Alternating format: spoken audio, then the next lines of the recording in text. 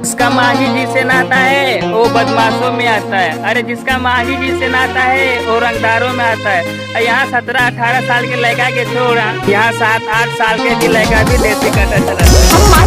चला